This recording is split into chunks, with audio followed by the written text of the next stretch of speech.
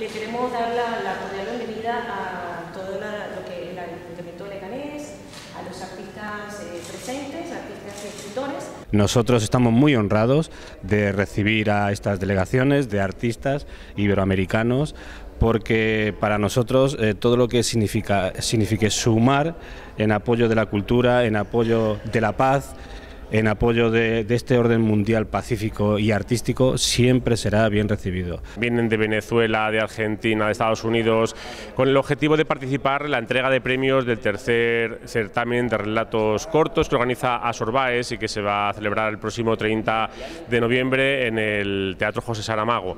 La verdad que para nosotros eh, Asorbaes es una, una, asociación, una entidad importantísima en la ciudad y fruto de ello, bueno, pues es este acto, bueno, pues en el que recibimos, como decía, artistas de gran renombre. Yo darle las gracias a, don Santiago Llorente, a toda la corporación por este recibimiento y los artistas que vienen de Argentina. Es un proyecto Mercosur, el cual he hecho el prólogo del libro decimocuarto Puente de Palabra.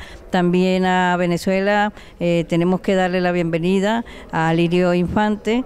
En este caso él viene a traer una exposición muy interesante e importante de lo que sucede en Venezuela. También tenemos a otro país que es importante, que no estuvo hoy, eh, que es Colombia, pero que ellos llegarán el día 29. También tenemos las delegaciones que, que, vienen de Estados Unidos, que es Rafael Picón, quien está aquí, es un escultor muy conocido y que de verdad este, importa lo que es el arte en el mundo. Yo darle las gracias a toda la corporación por este proyecto, a don Luis Martín de la Sierra eh, de Cultura, porque la cultura está dando un paso adelante en Leganés. Estamos haciendo puentes y estos puentes nos ayudan a tener una vida más digna porque la cultura es para el pueblo y por el pueblo.